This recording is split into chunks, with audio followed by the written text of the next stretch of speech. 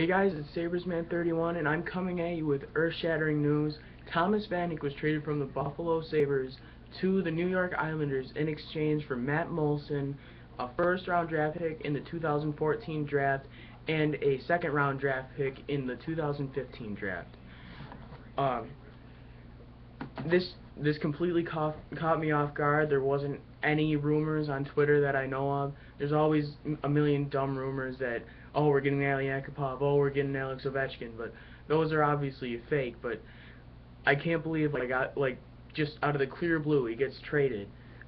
Uh, I knew this was coming, and I'm glad it did this early because I was telling everybody that we need to get rid of him as soon as possible while he's still worth something. If we get rid of him at the deadline, he won't be worth as much because there's not as many games to play to make a big playoff push, which the New York Islanders are going to make because I think they're just going to barely sneak into the playoffs, and Thomas Vanek will really help them out with that. He's a great player. He played well last night. He, he scored a goal, his final goal as a Buffalo Sabre. Thomas Vanek scored the 10,000th goal in Sabres history, and he scored one last night, and now he's gone.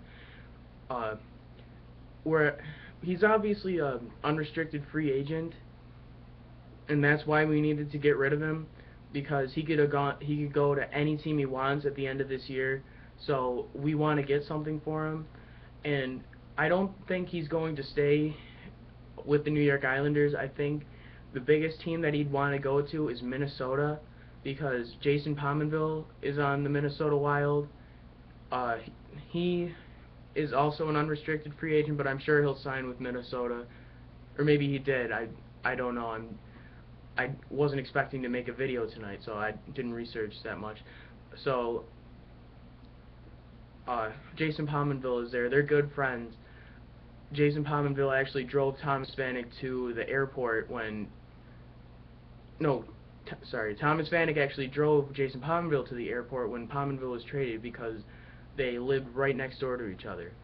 And uh, Thomas Vanek went to Minnesota College, so he he moved from Austria to Minnesota, so he's a Minnesota native almost. So I think the Minnesota Wild is a big team that will try and sign him at the end of this year. Uh, the Sabres get Matt Moulson.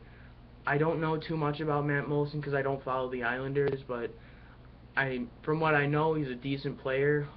Uh, you can let me know in the comments below what what he is because I don't know much about him. I don't know his contract status either. If he's also an unrestricted free agent, so you could also let me know that too if, if any of you guys know. So I like this just came out of nowhere. I'm really shocked that this happened out of nowhere like this. So, yeah, please tell me what you think about this big trade in the comment section below. Thank you for watching, guys. For more videos like this, please subscribe, and peace out.